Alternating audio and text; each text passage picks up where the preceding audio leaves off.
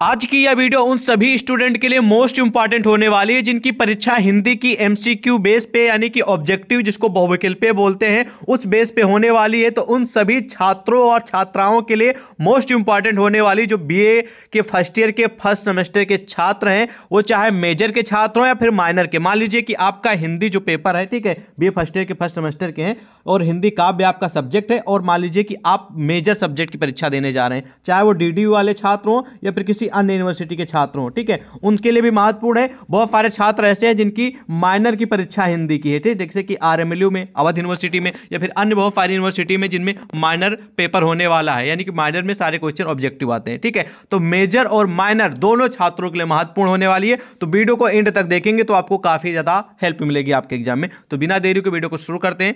नमस्कार दोस्तों, मैं संदीप, स्वागत है आप सभी का आपके अपने चैनल सक्सेस टू पर। और बढ़ते हैं हम क्वेश्चन की ओर। आज किस वीडियो का भैया पहला प्रश्न है, ठीक है? कि रमैनी नामक रचना में कबीर ने किस छंद का प्रयोग किया? पहले तो आप जान लीजिए, कबीर दास जी की एक प्रमुख रचना है, जिसका नाम है रमैनी, ठीक है? तो रमैनी जो रचना है कबीरदास जी की, उसमें कौन से छंद का प्रयोग किया गया है? इन ऑप्शनों में से वो आपको बताना है। तो सिंपल सा इसका उत्तर लिखेंगे कि रमैनी नामक जो रचना है कबीरदास जी की, उसमें दोहा और चौपाई छंद का प्रयोग किया गया है, ओके? चलिए नेक्स्ट क्वेश्चन की ओर बढ़ते हैं। नेक्स्ट क्वेश्चन कह रहा कि कबीर किस बादशाह के समकालीन थे? तो कबीर दास जी जो थे, ठीक है, इन ऑप्शनों में से वो सिकंदर लोधी जो थे, ठीक है, एक मतलब कि पहले के ये लोग क्या थे? इतिहास के ठीक है? मतलब कि सम्राट हुआ करते थे, राजा हुआ करते थे, किसी ठीक है, राज्य पर विजय प्राप्त करते थे। ये क्या करते थे? मतलब अपने एरिया में, अपने राज्य में कई सारे गाँव को या फिर कई सारे एरिया को मिलाकर, ठीक उस पर कब्जा कर लेते थे। कब्जा का मतलब ये हो कि वहाँ पर राज्य करते थे अब, ठीक है, और प्रजा को अपने अंडर करके सब काम करवाते थे, ठीक है। तो सिकंदर लोधी के ये, ठीक है, समकालीन थे। इन अफसरों में से इस बात को ध्यान रखेंगे कौन? कबीर दास जी, ठीक है, बी नंबर सही उत्तर होगा, ओके? अगला प्रश्न है कि कबीर ने आत्मा और परमात्मा के बीच कैसा संबंध माना है? आत्मा और परमात्मा। आत्मा आपके अंदर बसती है, परमात्मा का मतलब आप लोग समझते हैं, भगवान श्री। ठीक कोई भी भगवान ले लीजिए, किसी को भी, ठीक है? तो यहाँ पर बहुत सारे ऑप्शन दिए गए हैं, ठीक है? तो आत्मा और परमात्मा के बीच कैसा संबंध बताया जैसे कि आत्मा और परमात्मा के बीच होता, वैसे ही पति पत्नी के बीच जो संबंध होता, वही होता, आत्मा और परमात्मा के बीच, ठीक है? तो इस प्रकार आपको उत्तर लिखना है, ठीक है? पति और पत्नी। ठीक है? चलिए, सही उत्तर इसका कौन सा होगा? A number. अगला कि कबीर का रहस्यवाद प्रभावित प्रभावित है किस चीज़ से? कबीर दास जी का जो रहस्यवाद है, वो किस चीज़ से इम्पैक्ट पड़ा है? किस बात किस वजह से वो प्रभावित है? तो वो है अद्वैतवाद से। ठीक है, इस बात को ध्यान रखेंगे, सही नंबर सी होगा। ओके? ध्यान से वीडियो को एंड तक देखते रहिएगा। मेरे, आपको मैं जानकारी के लिए बता दूँ, इसमें बहुत सारे क्वेश्चन मैंने इंक्लूड किए हैं। लगभग लगभग ज़्यादातर प्रश्न, ठीक है? आपको कुछ क्वेश्चन तो छोड़ के लगभग लगभग प्रश्न इसी वीडियो से आपको देखने को मिलेंगे, लेकिन गारंटी नहीं लेंगे, क्योंकि ऑब्जेक्टिव में कोई गारंटी नहीं लेंगे भैया हम, क्योंकि ऑब्जेक्टिव में क्वेश्चन बदल जाते हैं, ठीक है? लेकिन एग्ज़ाम के नज़रिए से मैंने अपने हिसाब से मोस्ट इंपॉर्टेंट ही रखे हैं, जो कि आपके एग्ज़ाम में फंसने की उम्मीद हो, ठीक है? लेकिन अब भाई क्वेश्चन को तो कुछ कहा नहीं जा सकता। सब्जेक्टिव वाले में पेपर में तो हम गारंटी ले लेंगे, वो क्वेश्चन फंसेगा, लेकिन ऑब्जेक्टिव वाले में कुछ कहा नहीं जा सकता। ठीक है, कुछ क्वेश्चन होते हैं, उनकी गारंटी हो सकती, लेकिन सभी की नहीं हो सकती। आते हैं मेन क्वेश्चन पर लेकिन पढ़ते रहेंगे, ध्यान से समझते रहेंगे वीडियो को एंड तक तो काफ़ी सफलता मिलेगी। कबीर दास जी ने इनमें से किसका विरोध किया है? मतलब कि इनमें से बहुत सारे ऑप्शन देगी, इनमें से किस चीज़ का कबीर दास जी ने विरोध किया है? तो उन्होंने कहा कि भैया जाति पात को भी हम नहीं मानते, ठीक है? और ठीक है ब्राह्मणों को नहीं मानते हैं वो लोग, और मूर्ति पूजा, ठीक है, इन सभी का वो विरोध करते हैं, इसलिए सही उत्तर हो जाएगा इनमें से सभी डी, इनमें से सभी या फिर उपयुक्त में से सभी, ओके? अगला प्रश्न है कि हमारे प्रमुख कवि कबीर दास जी ने, ठीक है, सखियों की रचना किस छंद में की है, ठीक है? यानी कि इनकी प्रमुख रचना है, जिसका नाम है साखी, यहाँ पर सखियों लिख दिया गया है, ठीक है? लेकिन ये मान लीजिए कि साखी, जो इनकी साखी शब्द रमैनी जो रचना है, ठीक है, उसी से संबंधित क्वेश्चन है। कि, जो मतलब साखी की रचना है वो किस छंद में की गई है? कौन से छंद में? जो ऑप्शन देगी इनमें से। तो सही उत्तर इसका हो जाएगा दोहा छंद में जो साखी की रचना है उसकी रचना की गई इस बात को ध्यान रखेंगे। अगला प्रश्न है भैया कबीर की भक्ति में ज्ञान के साथ किसका समावेश है? मतलब कि कबीर दास जी वो तो भक्ति काल के कवि तो हैं ही ठीक है? और इनकी रचनाएँ सब भक्ति काल मतलब कि भक्ति से रिलेटेड है। लेकिन उनके भक्ति जो है उसमें ज्ञान के साथ और क्या मिलता है? इन ऑप्शनों में से तो वहाँ पर इनके भक्ति के अलावा जो देखने को मिलता है, ठीक है, वो मिलता है क्या योग? बहुत ही महत्वपूर्ण प्रश्न है सी नंबर से उत्तर। कबीर का रहस्यवाद क्या है? इन ऑप्शनों में से ध्यान से सुनेंगे। ऑप्शन भी पे आपको फोकस करना है तो कबीर का रहस्यवाद है ज्ञानात्मक, ठीक है ए नंबर सही उत्तर होगा। अगला क्वेश्चन बहुत ही पॉपुलर है, कई बार आ चुका परीक्षा में भी कि कबीरदास जी की भाषा क्या है, ठीक है? तो कबीरदास जी की जो भाषा है, वो याद रखेंगे सधुक्कड़ी है, ठीक है? आपने सुना होगा, फदक्कुड़ी पंचमेल की खिचड़ी, ठीक है? ये इनकी रचना है, ठीक? मतलब कि रचना कह रहे भाषा इनकी लैंग्वेज है, ठीक है? तो इनकी जो रचना है वो ज़्यादातर सदुक्कड़ी भाषा में और बहुत सारी जो रचनाएँ वो, जिसको आप लोग सदुक्कड़ी पंचमेल की खिचड़ी बोलते हैं, ज़्यादातर मतलब इसी भाषा पे आधारित है इनकी रचनाएँ कबीरदास जी की, ठीक है? और कबार कबीरदास जी जो हैं, इनकी पत्नी का क्या नाम था, ये आपको बताना है? तो आप लोग जानते भी होंगे कबीरदास जी की जो पत्नी का नाम था, ठीक है? कमेंट सेक्शन में बता सकते हैं, आप सभी को मालूम है तो ठीक है? इनकी पत्नी का नाम था लोई क्या नाम था? लोई। अगला प्रश्न है कि कबीर जी के पुत्र और पुत्री का क्या नाम था? तो कबीरदास जी के पुत्र भी था और पुत्री था, ठीक है? तो पुत्र का नाम था कमाल और पुत्री का नाम था कमाली, ठीक है? तो कमाल और कमाली इनके पुत्र और पुत्री थे, याद रखेंगे। अगला प्रश्न है कि संत कबीर ने, यानी संत कबीर दास जी ने निम्नलिखित में से किस बात का उन्होंने विरोध किया है, ठीक है, इन ऑप्शन में से? तो हमारे कबीर दास जी ने मूर्ति पूजा का विरोध किया है, ठीक है? और इन ऑप्शन में बहुत सारे ऑप्शन दिए जाएँगे, लेकिन इसमें से आपको सही उत्तर सेलेक्ट करना ए नंबर ठीक है? अगला प्रश्न है कि छरह ते सब कीन्हे से पुनि कीन्हे से सब छार। इस काव्य पंक्ति के रचयिता कौन है? कौन कवि हैं इन ऑप्शनों में से? तो चलिए इसका भी उत्तर जानते हैं, बहुत ही महत्वपूर्ण प्रश्न है, कई बार आ चुका है। तो सही उत्तर इसका हो जाएगा मलिक मोहम्मद जायसी जी, इसके, इस पंक्ति के रचनाकार हैं, बहुत हेल्पफुल क्वेश्चन है। अगला क्वेश्चन है कि ना होए पूत ना ध्यान फिर से सुनेंगे। ना होए पूत, ना पिता, न माता, यह पंक्त इनमें से किफ कवि की है, ठीक है? तो ये जो पंक्ति कही गई वो हमारे प्रमुख कवि मलिक मोहम्मद जायसी द्वारा कही गई है। बी नंबर सही उत्तर होगा। कौन पान जही पौन न मिला? इस पंक्ति के रचयिता कौन है? तो ये जो पंक्ति है, याद रखेंगे, ये पंक्ति हमारे मलिक मोहम्मद जायसी जी की ही है। काफ़ी बार क्वेश्चन पूछे जाते हैं इस तरह की तो आपको ध्यान रखना है। तो सही नंबर क्या होगा? B number. अगला कि रत्न सेन के पिता का क्या नाम था? तो रत्न सेन जो था, उसके पिता का नाम था चित्रसेन। यह सभी, ये क्वेश्चन कई बार आ चुका, ध्यान रखेंगे आप लोग। राजा रत्नसेन कहाँ का राजा था? तो राजा रत्न, जो रत्नसेन जी थे, ठीक है, वो, ठीक है चित्तौड़गढ़ के राजा थे। कहाँ के? चित्तौड़गढ़ के चित्तौड़गढ़ के, ठीक है। ए नंबर से उत्तर होगा। अगला है कि पद्मावत की रचना किस छंद में हुई? पद्मावत हमारे प्रमुख कवि मलिक मोहम्मद जायफी जी की का ग्रंथ है, रचना है, ठीक है? तो इनकी जो रचना है, उसमें किफ छंद की ज़्यादा उपलब्धि या फिर कौन से छंद का प्रयोग किया गया है? तो याद रखेंगे, बहुत ही महत्वपूर्ण प्रश्न है, उसमें दोहा और चौपाई का यूज़ किया गया, पद्मावत जो कि एक रचना है, ग्रंथ है, मलिक मोहम्मद जायसी जी का, याद रखेंगे। अगला प्रश्न है कि भैया रत्नफेन की पहली रानी का क्या नाम था? तो रत्नफेन की जो सबसे पहली ना मतलब कि रानी थी, वो थी नागमती। सी नंबर सही उत्तर होगा, कई बार आ चुका, याद रखेंगे। अगला प्रश्न भैया कह रहा है कि पद्मावत के नायक का क्या नाम था? ठीक है तो पद्मावत के जो नायक थे, उनका नाम आपको बताना, बहुत ही पॉपुलर क्वेश्चन, कई बार आ चुका तो सही उत्तर हो जाएगा। ठीक है ए नंबर रतनसेन अगला है कि पद्मावती के पिता का क्या नाम था भैया? तो पद्मावती के पिता का जो नाम था, वो गंधर्व सेन था। याद रखेंगे, कई बार आ चुका है भी क्वेश्चन पद्मावती की माँ क्या क्या नाम था? तो पद्मावती का माँ थी, उनका नाम था चंपावती। डी नंबर सही उत्तर होगा।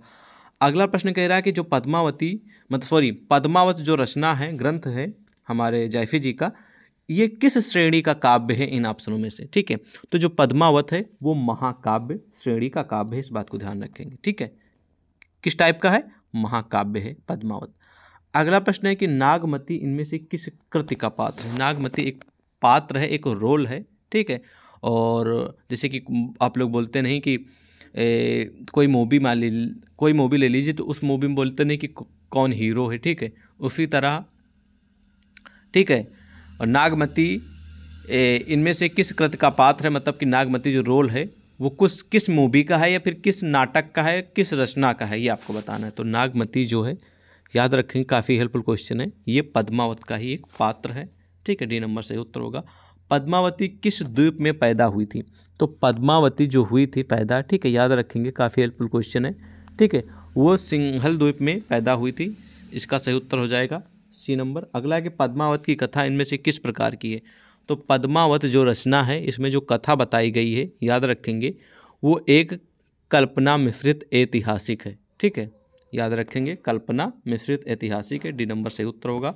अगला है कि पद्मावती को प्राप्त करने के लिए रत्न सेन को किसने उकसाया था? ठीक है मतलब कि किसने पुश किया था कि भैया आप इन्हें प्राप्त कर सकते हैं। तो उनका नाम था हीरामन तोता ने उसकाया था, ठीक है रतन सेन जी को, पद्मावती को प्राप्त करने के लिए। अगला प्रश्न है कि भैया पद्मावत किस भाफा की रचना है? पद्मावत जो कि महाकाव्य है और बहुत ही पॉपुलर क्वेश्चन है और कई बार आ चुका है। पद्मावत के, की जो भाषा है, इसमें किस भाषा का यूज़ किया गया तो याद रखेंगे, अवधि भाषा का यूज़ किया गया है। अवधि सी नंबर सही उत्तर होगा। अगला इनमें से प्रेमाख्यान काव्य की रचना करने वाले कौन हैं? प्रेमाख्यान काव्य की रचना वाले कौन से प्रकार के कवि हैं? कृष्ण भक्ति कवि हैं, फिर रीतबद्ध कवि हैं, सूफी हैं, फिर संत हैं। तो सही उत्तर इसका हो जाएगा वो हैं सूफी काव्य। ठीक है, सूफी कवि। ठीक है? प्रेमाख्यान काव्य की रचना करने वाले सूफी कवि हैं। ओके? सही उत्तर सी होगा। अगला प्रश्न है कि सूफी साधना के चार अवस्थाओं में क्या नहीं है? तो उसमें नजाकत नहीं देखने को मिलती और बाकी सब चीज़ें हैं। ठीक है? अगला कि रामचंद्रिका में कुल कितने ठीक है? सही उत्तर इसका हो जाएगा ऑप्शन नंबर बी। ठीक है? उनतालीस। रामचंद्रिका में जो एक प्रमुख रचना है, ठीक है? तो इसमें जो प्रकाशों की संख्या याद रखेंगे, उनतालीस, ठीक है, सर्गों में ये डिवाइड किया गया है, रामचंद्रिका जो है, ठीक है, ये कितने सर्गों में डिवाइड किया गया? उनतालीस सर्गों में इसे विभाजित किया गया है डिवाइड किया गया है, ठीक है, उनतालीस प्रकाश ठीक है, सर्गों में इसे विभाजित किया गया तो इस प्रकार लिखेंगे उत्तर। ठीक है, बहुत महत्वपूर्ण प्रश्न है। अगला क्वेश्चन है भैया, अगला प्रश्न है कि कठिन काव्य का प्रेत किसे कहा जाता है? बहुत ही पॉपुलर क्वेश्चन आप सभी शायद जानते भी होंगे, बहुत ही महत्वपूर्ण प्रश्न है।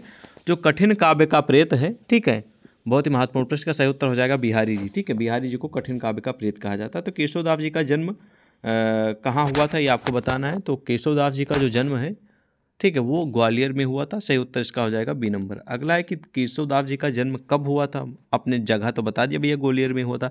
लेकिन किस सन में हुआ था? जब प्रश्न आ जाए तो आपको लिखना है, इनका जो जन्म है, वो पंद्रह सौ पचपन ईस्वी को हुआ था। ठीक है, कब हुआ था? पंद्रह सौ पचपन ईस्वी को। अगला क्वेश्चन है कि केशव को कठिन काव्य का प्रेत इसलिए कहा जाता है क्योंकि उनकी रचना में क्या देखने को मिलता है? उनकी रचना में ज़्यादातर आपको क्या देखने को मिलता है? क्लिष्टता देखना ठीक है, क्लिष्टता देखने को मिलता है, इसलिए उन्हें कठिन काव्य का प्रेत कहा जाता है। केशवदास जी को सी नंबर सही उत्तर होगा। केशवदास जी के आचार्यत्व से संबंधित कृतियाँ हैं, इनमें से कौन सी? तो सही उत्तर हो जाएगा कि कवि, ठीक है, कवि प्रिया तथा रसिक प्रिया, ये, ठीक है, केशवदास जी की आचार्यत्व से संबंधित रचनाएँ हैं, कवि प्रिया तथा रसिक प्रिया, याद रखेंगे। केशव को कभी हृदय नहीं मिला था उनमें वह सहृदयता और भावुकता ना थी, जो एक कब में होनी चाहिए यह मान्यता की थी मतलब कि कहने का मतलब है कि केशवदास के अंदर जो एक कवि वाली क्वालिटी होनी चाहिए, वो ठीक है, वो भाव या फिर वो हृदय नहीं था। ठीक है, ये किसने कहा है? तो ये कहा गया है रामचंद्र शुक्ल के द्वारा, सही उत्तर हो जाएगा ए नंबर। अगला है कि छंदों का अजायब घर किसे कहा जाता है? तो छंदों का जो अजायब घर कहा जाता है, वो रामचंद्रिका, जो कि बहुत पॉपुलर रचना है, इसी को कहा जाता है। रामचंद्रिका के अनुच्छेदों को नाम दिया गया है। तो जो रामचंद्रिका में अनुच्छेद हैं, ठीक है, उनको अनुच्छेद ही नहीं कर, ना कहकर उनको प्रकाश के नाम से संबोधित किया गया है, ठीक है, जो कि मैंने आपको बताया था, ठीक है उनतालीस ठीक है, प्रकाश सर्गों में से विभाजित किया गया है। अगला क्वेश्चन है कि केशव जी को छंदों पर आसिम अधिकार है, ये कथन किसका है? तो ये कथन जो कहा गया, वो डॉक्टर विजय पाल सिंह के द्वारा कहा गया कि केशव दास जी को छंदों पर असीम अधिकार है। ठीक है, असीम अधिकार है, असीम अधिकार है। अगला प्रश्न है कि इनमें से रीतकाल का वह कौन सा कवि है जो मात्र एक ग्रंथ कृत रचकर सुप्रसिद्ध हो गया? मतलब एक ही रचना रचकर वो पूरे मार्केट में, पूरे हिंदी साहित्य के क्षेत्र में वो प्रसिद्धि उसको मिल गई। ठीक है तो याद रखेंगे, उनका नाम है, ठीक है, बिहारी जी, ठीक है, बहुत ही महत्वपूर्ण प्रश्न है। सी नंबर से उत्तर हो जाएगा। बिहारी, इनमें से किस कुल जात में प्रकट या फिर पैदा हुए थे? ठीक है तो इन ऑप्शनों में से जो बिहारी जी थे, ठीक, वो ब्राह्मण कुल में प्रकट हुए थे, ठीक है।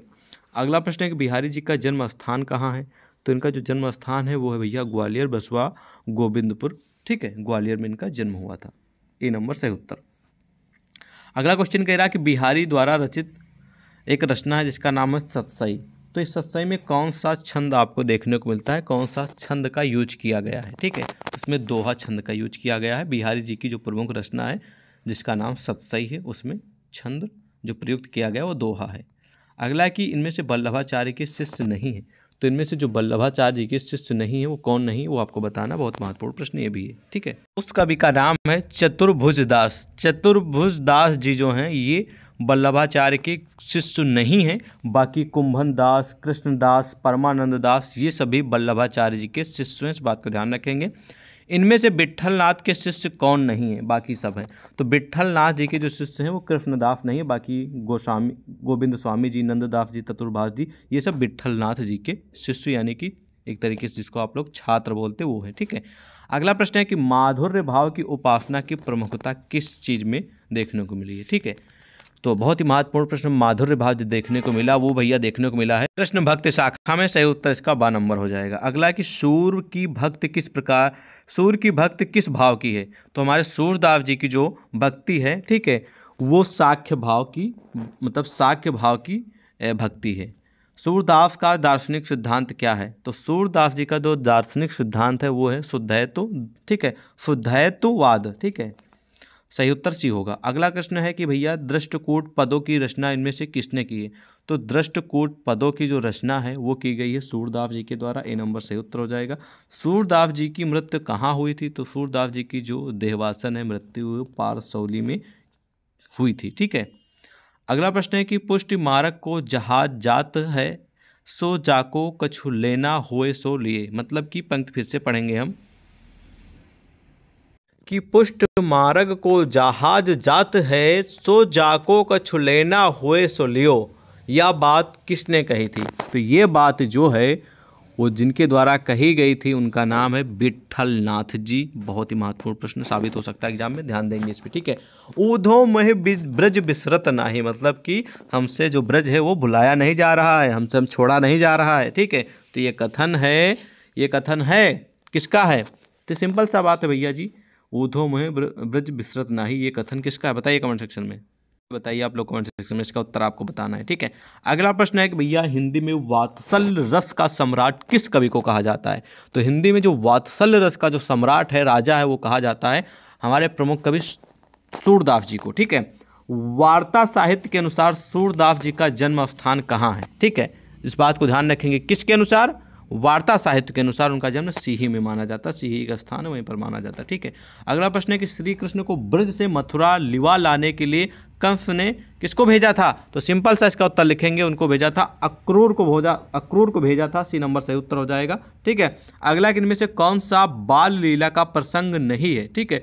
तो इन इन ऑप्शनों में से जो बाल लीला का, ठीक है, प्रसंग नहीं है, वो है राफ लीला। अगला कि वल्लभाचार्य ने किस दर्शन का प्रतिपादन किया था? तो वल्लभाचार्य जी ने शुद्धैतवाद का प्रतिपादन किया था, सी नंबर सही उत्तर हो जाएगा। अगला है कि सूरदास के पदों को संस्कृत के किस कवि की परंपरा में देखा जाता है। तो बहुत ही महत्वपूर्ण प्रश्न ये है। तो ये देखा जाता है जयदेव जी की, ठीक है, कि परंपरा में देखा जाता है। कृष्ण काव्य परंपरा में पुष्ट मार्ग का जहाज़ किसे कहा जाता है या फिर कहा जाता है किसको? तो कृष्ण काव्य परंपरा में पुष्ट मार्ग का जो जहाज़ कहा जाता है, वो कहा जाता है सूरदास जी को। किसको कहा जाता है? सूरदास जी को। सी नंबर से उत्तर हो गया। अगला बहुत ही पॉपुलर क्वेश्चन जो कि आप लोग जानते भी होंगे कि सूर सागर की रचना किस भाषा में हुई, जो कि हमारे सूरदास जी की प्रमुख रचना है, सूर सागर। ठीक है? इसमें जिस भाषा का प्रयोग किया गया, वो है ब्रज भाषा। ब्रज भाषा की इसमें उल्लेखित किया गया। वो ब्रज भाषा में लिखी गई है, याद रखेंगे। सूर सागर में स्कंधों की संख्या कितनी है? तो सूर सागर जो रचना है सूरदास जी की, इसमें जो स्कंधों की संख्या, वो ट्वेल्व यानी कि बारह है। बी नंबर सही उत्तर होगा। अगला है कि तुलसीदास जी का दार्शनिक मत है इन ऑप्शनों में से। तो तुलसीदास जी का जो दार्शनिक मत है इन ऑप्शनों में से वो है। यही उत्तर इसका होगा। कौन सा? नंबर, विशिष्टता, द्वैतवाद। ठीक है? तुलसीदास जी का दार्शनिक मत मत जो था वो विशिष्टता, द्वैतवाद था। इस बात को ध्यान रखेंगे। C number. अगला कि तुलसीदास जी की भक्ति किस भाव की थी? तो तुलसीदास जी की जो भाव थी वो दास से भाव की थी। कई बार आ चुका ध्यान देंगे। रामचरित मानस में वक्ता स्रोत युग्म कितने हैं? तो ध्यान रखेंगे, दो हैं। अगला कि तुलसीदास का कौन सा ग्रंथ दार्शनिक कहलाता है? ये भी महत्वपूर्ण है। सही उत्तर इसका हो जाएगा, ठीक है, विनय पत्रिका। अगला रामचरित मानस की रचना किस भाषा में की गई तो आप सभी कौन नहीं जानता इसके बारे में तो अवधि में की गई, ए नंबर सही उत्तर हो जाएगा। लोकनायक इनमें से किस कवि को कहा जाता है? तो लोकनायक की जो उपाधि वो तुलसीदास जी को दी गई है। डी नंबर से उत्तर हो जाएगा। रामचरित मानस का रचना, या फिर जो रामचरित मानस रचना है, इसको कितने समय लगा था पूर्ण करने में? या फिर रामचरित मानस रचना कितने समय में पूर्ण हुई थी? तो सिंपल सा इसका उत्तर लिखेंगे। कितने दिन में हुई थी? बताइए। दो वर्ष सात माह में इस बात को ध्यान रखेंगे। सही उत्तर क्या हो जाएगा? ए नंबर, ठीक है? अगला कि तुलसीदास द्वारा रचित रामचरित मानस में कितने सोपान अथवा कांड हैं? ठीक है तो सोपान कभी कभी बोला जाता है, फिर कभी कभी कांड बोला जाता है तो इस बात को ध्यान रखेंगे। सही उत्तर हो जाएगा सात नंबर, आप सभी जानते भी हैं।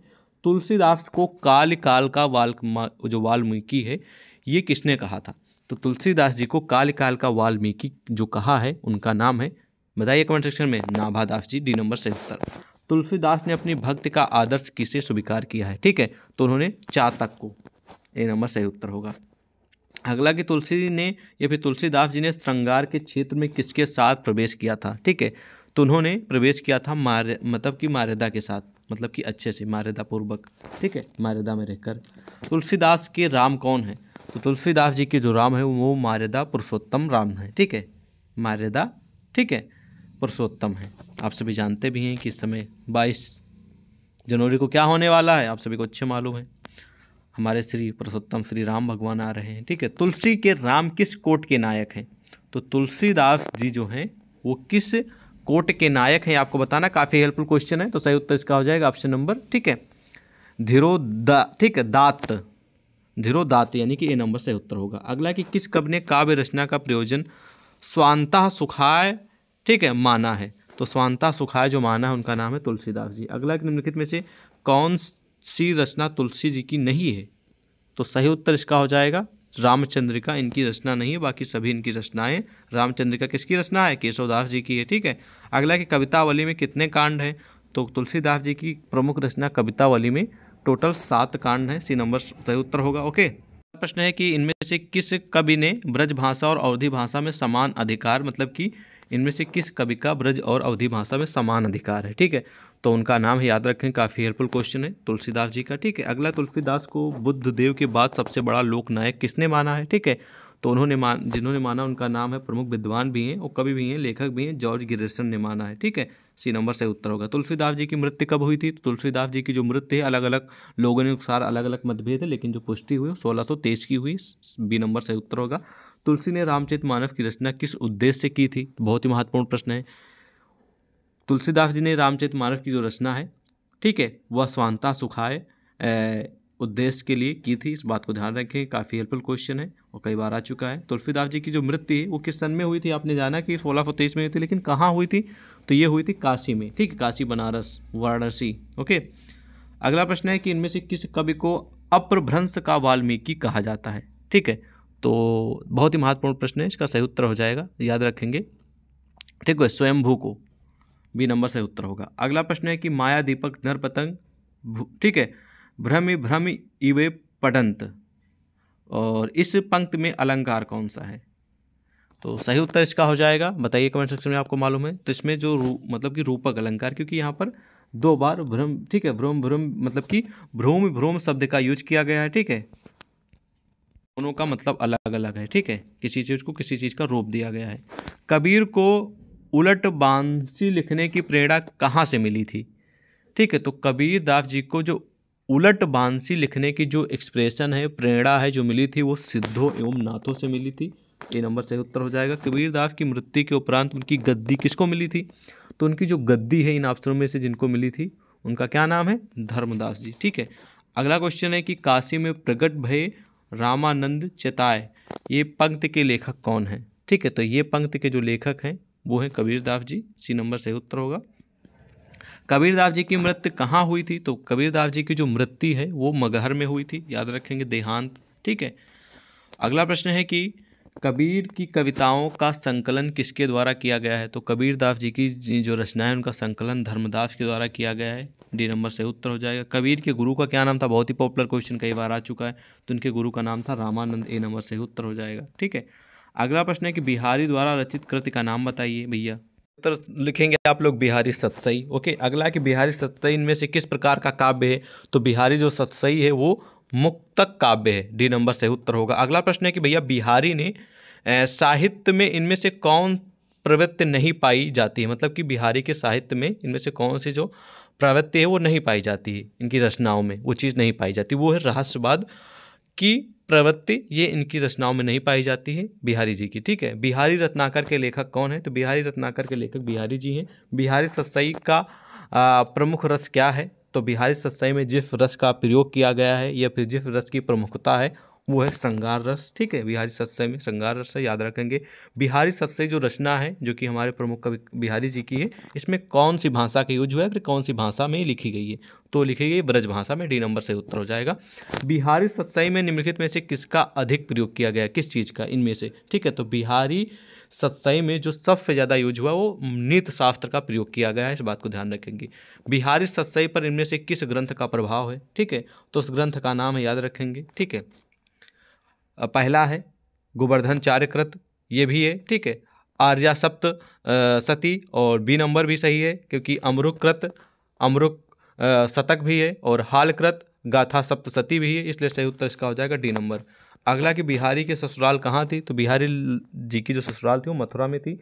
बिहारी रीतकाल की किस काव्य धारा के कवि थे? बिहारी लाल जी रीत काल के किस काव्य धारा के कवि थे? तो वो रीत सिद्ध काव्य धारा के कवि थे। रीत सिद्ध काव्य धारा के सी नंबर से उत्तर हो जाएगा। बिहारी से बिहारी सत्सई पर टीका मतलब बिहारी से बिहारी सत्सई पर टीका नहीं लिखी है किसने? मतलब कि ये क्वेश्चन ये कह रहा है, ऐसा कौन सा कवि है जो बिहारी सत्सई जो रचना है, इस पर टीका नहीं लिखी है, ठीक है? तो उनका नाम है रामचंद्र शुक्ल जी ने नहीं लिखी, बाकी सभी ने लिखी है, ठीक है? अगला प्रश्न है कि इनमें से बिहारी सत्सई में नहीं मिलता है, क्या देखने को नहीं मिलता बिहारी सत्सई में? तो वो है लक्षण, निरूपण, ये सब नहीं देखने को मिलता, ठीक है? बिहारी ने गागर में सागर भर दिया, कई बार क्वेश्चन आ चुका, ये कथन किसका है? तो आप सभी जानते हैं, ठीक है? ये कथन जैसे वो रामचंद्र शुक्ल के द्वारा कहा गया था कि बिहारी जी ने गागर में सागर भरने का काम किया है। ठीक है? अगला है कि गराह जवाई लो घटो खरो पूस दिनमान इनमें से ये कथन कौन सा है? श्रृंगार है या फिर वैराग्य कथन है नीत कथन है? कौन सा कथन है? तो ये जो है वो भक्ति कथन है, बी नंबर से उत्तर होगा। अगला क्वेश्चन कह रहा है कि बिहारी के दीक्षा गुरु कौन थे? तो बिहारी जी के जो दीक्षा गुरु थे, उनका नाम था नरिहर दास। याद रखेंगे, पॉपुलर क्वेश्चन है। अगला क्वेश्चन है कि भैया रीत काल के किस कवि, ठीक है रीत काल के किस कवि को फच्छात रस मूर्ति कहा जाता है तो उनका नाम है घनानंद जी, ठीक है। अगला कि घनानंद किस बादशाह के दरबार में रहते थे, ठीक है। तो इन ऑप्शनों में से जो हमारे घनानंद जी मोहम्मद शाह रंगीले के दरबार में रहते थे। अगला क्वेश्चन कि घनानंद बादशाह के, घनानंद बादशाह के दरबार में किस पद पर कार्यरत थे, ठीक है। तो घनानंद जी बादशाह मोहम्मद शाह रंगीले के यहाँ मीर मुंशी का कार्य किया करते थे, ठीक है? अगला है कि घनानंद की जाति क्या थी? तो घनानंद जी जो थे, ये ठीक है की जो जाति थी, याद रखें, कई बार आ चुका है और आपके एग्ज़ाम के लिए भी इंपॉर्टेंट क्वेश्चन है, ठीक है? वो वैश्य थे, ठीक है? क्या थे? वैश्य थे, डी नंबर सही उत्तर होगा। भाषा प्रवीण सुछंद फदा रहे सो घन जी के कवित्व बखाने। घनानंद की ऐसी प्रशस्ति किसने की है? ठीक है? तो जिनका, उनका नाम है ब्रजनाथ जी ने की है। घनानंद की काव्य भाषा कौन सी है? तो घनानंद जी की जो रचनाएँ ज़्यादा हैं, ठीक है? जो रचनाएँ हैं, उनमें किस चीज़ का यूज़ किया गया, किस भाषा का प्रयोग किया गया फिर कौन सी भाषा है? वो ब्रज भाषा ज़्यादा देखने को मिली है घनानंद जी की रचनाओं में, ठीक है? घनानंद किस काल के कवि थे? तो घनानंद जी रीतकाल के प्रमुख और प्रसिद्ध कवि थे। बी नंबर सही उत्तर हो जाएगा, ठीक है? तो इसी तरह आपको आगे और भी क्वेश्चन कुछ देखने को मिलेंगे, जिनको आपको तैयार कर लेना। इस वीडियो में करीब करीब दो सौ के मेरे आंकड़े के अनुसार करीब करीब 200 के करीब क्वेश्चन है। हालाँकि डेढ़ सौ से तो ज़्यादा ही है, ठीक है? 200 के आसपास हैं, ठीक है? तो इनमें दिए गए क्वेश्चन और भी कभी से जुड़े हैं, जिनको आपको तैयार कर लेना है। ये पूरी की पूरी पीडीएफ हम आपको टेली व्हाट्सएप पर प्रोवाइड करा देंगे तो वहाँ पर तैयार कर लीजिएगा, ठीक है? ओके, और बाकी जो इनके आगे उत्तर नहीं दिए गए आप लोग समझ लीजिएगा। मतलब कि आप लोग जानते भी होंगे, नहीं जानते हैं। तो इस सिंपल सा इंटरनेट पर सर्च कर लीजिएगा, क्योंकि ज़्यादा क्वेश्चन तो रह नहीं गए। मुश्किल से दस बारह क्वेश्चन पंद्रह बीस रह गए हैं, बस इन्हीं का उत्तर आपको तैयार करना, बाकी के उत्तर का मैंने मतलब बाकी के जो क्वेश्चन थे करीब करीब सौ, उनके तो मैंने उत्तर आपको बता ही दिए। बाकी मिलते हैं और नए वीडियो के साथ। जय हिंद।